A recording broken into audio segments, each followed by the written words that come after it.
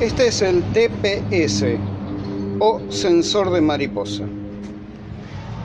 Va conectado en el cuerpo monopunto ¿eh? sobre el eje que se ve ahí, que es el eje de la mariposa cuando esta cierra y abre. A través de ese eje transmite el movimiento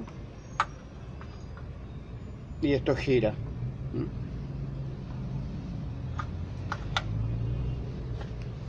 Para controlarlo, acá ya saqué la ficha, la ficha la desarmé completa porque hay que mirar la ficha completa porque adentro a veces es sulfata.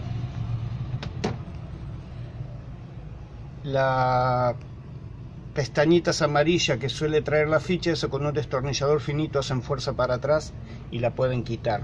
A veces las fichas están sulfatadas, entonces es bueno revisarlas también para ver en el estado que están son sus tres cables. El marrón es masa. El marrón con negro son los 5 volt que viene directo de, la EQ. Y el marrón oscuro con la línea blanca o gris es el de señal. Ahora vamos a ver cómo se controla. Conectamos el tester, ¿eh? ponemos el tester en voltaje masa y conectamos el, la ficha roja obviamente del tester que vendría a ser el que toma el positivo. Lo conectamos del cable marrón oscuro con eh, la línea blanca que ese es el de señal. ¿Eh? acá les pongo. Tenemos el marrón que es masa el marrón con negro que son los 5 volt permanentes que manda la EQ y el marrón con la línea blanca o gris eh, señal.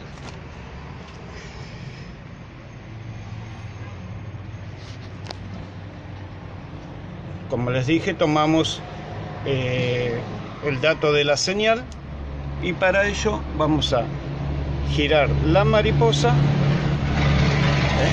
La giramos, es punto bajo, o sea, cuando está cerrada, punto medio y total abierta. Nos tiene que dar cerrada 0,8 o 8, 0,85. Eh, Así cerrada. En el punto medio 240, 250 y totalmente abierta 445, puede ser 45 ¿eh? o 48. Lo importante es que siempre dé arriba de 4 volts cerramos la mariposa, tenemos 0,85. Abrimos toda la mariposa, tenemos 4,45. ¿Ok? Eso indica que el TPS está andando bien.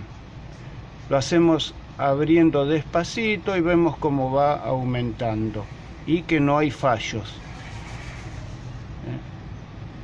que no hay variaciones importantes, o sea, caídas o quedadas. Eso indica que todo el recorrido está perfecto. ¿eh?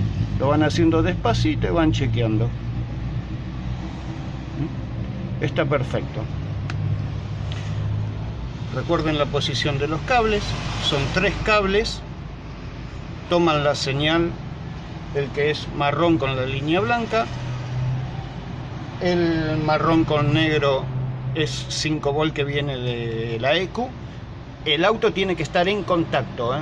si no está en contacto, eh, obviamente no van a tener, no va la EQ no va a estar transmitiendo sus 5 volt, porque está cerrado el, eh, está cerrado el circuito, hay que abrirlo, ¿de qué forma? Bueno, poniéndolo en contacto y la EQ transmite sus 5 volt y podemos tomar estas señales revisar la ficha, revisar el cableado que esté en buenas condiciones y se hace este test. Si dan los valores que recién medimos, está todo ok. Y hay que seguir buscando en el caso que fuera tuviéramos una falla por otro lado. Generalmente este test se hace junto en la falla donde que uno está buscando fallos en la aceleración o eh, cuando el vehículo se acelera demasiado. Eh, en ralentí. No todas las culpas de los fallos eh, de aumento de RPM en ralentí, cuando el vehículo está parado, que se sube o se baja las revoluciones, son del paso a paso. Eh, hay varios eh, elementos que intervienen en esta falla, como puede ser una chupada de aire o el TPS, la mariposa, o sea, el sensor de mariposa que también eh, esté fallando y esté mandando mal la señal de que la mariposa está cerrada a la ECU. Entonces la ECU hace cualquiera. Por ahí algunos se pregunten qué es este cable extra que se está tomando justamente de la señal. Bueno, es un cable que va como el, auto tiene equipo de gas, tiene un corrector de avance. El corrector de avance eh, te pide, no es obligatorio, pero está la opción de conectarlo al TPS de la inyección para tomar justamente los datos de que cuando se acelera o se desacelera. Eso es para cuando los vehículos tienen GNC y está bien puesto el equipo, ¿no?